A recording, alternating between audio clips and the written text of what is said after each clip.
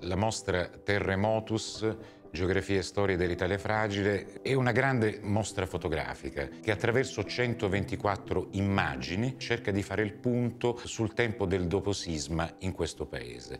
Quest'anno ricorre il decennale del sisma che mise in ginocchio la città dell'Aquila. Era inevitabile cercare di mettere in luce soprattutto i limiti, i ritardi della ricostruzione, perché è vero, certamente l'Aquila sta faticosamente rinascendo, all'Aquila c'è il più grande cantiere d'Europa, ma bisogna immaginare che all'Aquila in dieci anni non una scuola è stata ricostruita.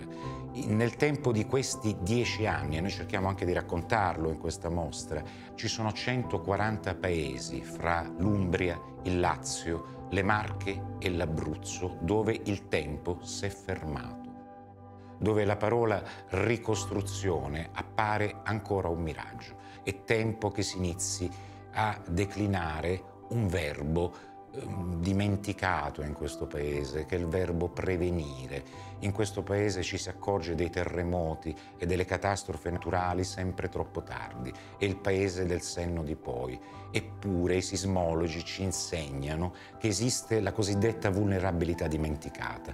Noi non possiamo sapere quando la Terra tremerà, sappiamo semplicemente che laddove essa nel corso dei secoli ha tremato, Verrà un tempo, verrà un giorno, il più tardi possibile, il nostro auspicio naturalmente, in cui essa tornerà nuovamente a tremare.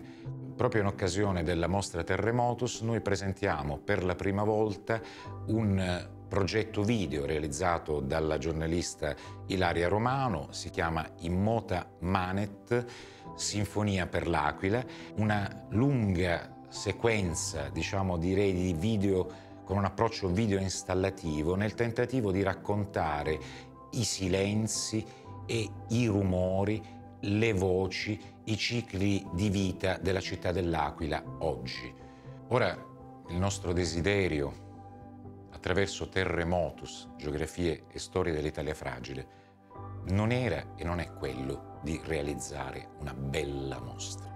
Noi vorremmo che Terremotus fosse utile, fosse l'occasione per poter operare una riflessione di più rispetto alla mancata presa in carico dei destini, dei luoghi e delle comunità che abitano l'Italia fragile, che mi piace ribadire una volta di più, ebbene, è l'anima di questo Paese.